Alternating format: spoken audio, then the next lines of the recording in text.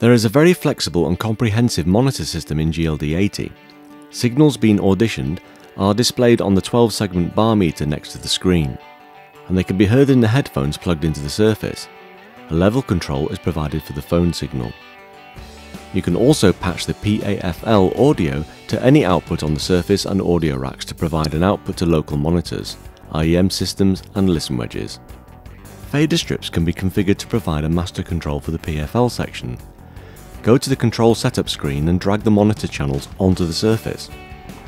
There are two types, wedge and IEM, to allow you to set up a priority system where different types of monitor mixes can default to the engineer's wedge or headphones if desired. If you don't use the pre-selected system, then both outputs handle the selected stereo PFL signal. You can patch each of these outputs to any available socket on the surface and audio racks. If you want to pre-assign the default fader strips to wedge or IEM use, then simply select one of them as a mix. Press assign and touch mix on the outputs you wish to come up on that fader. For another type of monitor mix, for example IEM radios, assign your stereo AUX mixes to the IEM fader. Now, when you AFL a mix, it will appear on the engineer's local wedge or belt pack as desired. You can simply flip the outputs anytime using the mute keys on the faders.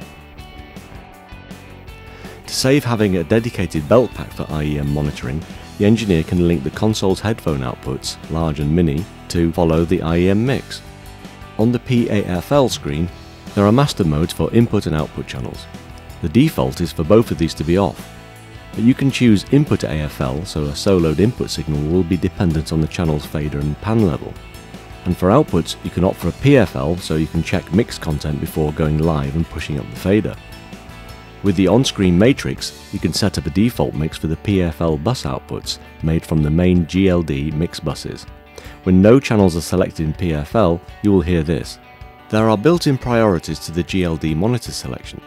If you are auditioning an output mix such as an send to a wedge, and then press an input channel to check its level and audio, this will override the output PFL but when you release the input selection, you will return to your previous mix in your wedge or ears.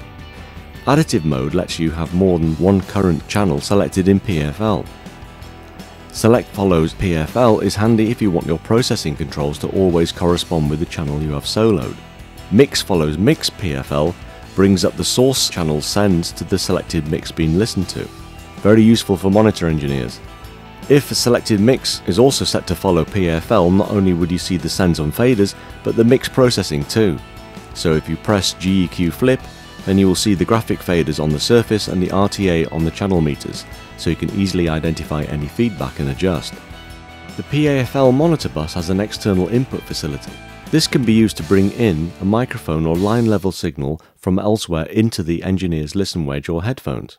You can patch an I.O. port channel to the monitor external in, enabling for example the front of house shout microphone to be heard at the monitor desk without using up an input channel or XLR cable on stage.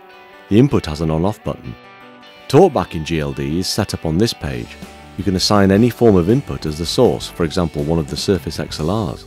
If a mic preamp is selected, you have gain, pad and phantom power. There is also a high pass filter for the talkback input. You then select on screen which mixes you want the talkback source to appear in. To go live with the talkback source, press the talk key on the surface. You can also use soft keys to assign talkback on and off to mixes. The LED illuminates when the assigned mix is engaged.